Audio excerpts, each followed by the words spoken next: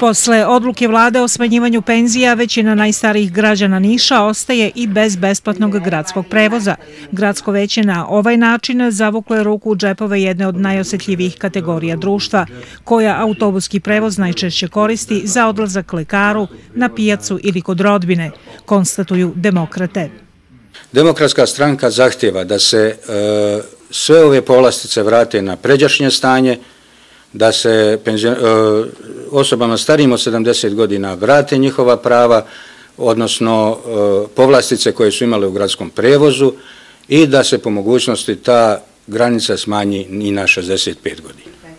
U ovoj stranci podsjećaju da će po novom umjesto do sadašnjih 17.500 lica starijih od 70 godina pravo na besplatan gradski autobuski prevoz u Nišu imati njih 4.500, dok će 12.000 penzionera mesečnu kartu kupovati po upola manjoj ceni.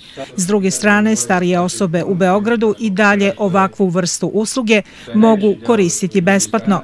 Nezadovoljni odlukama vlade, demokrate pozivaju isto mišljenike da radnim danima dođu u njihovo sedište locirano u Kopitarevoj ulici, gde mogu potpisati peticiju protiv smanjenja penzija i plata kako bi u parlamentu inicirali postupak za ukidanje takvih odluka.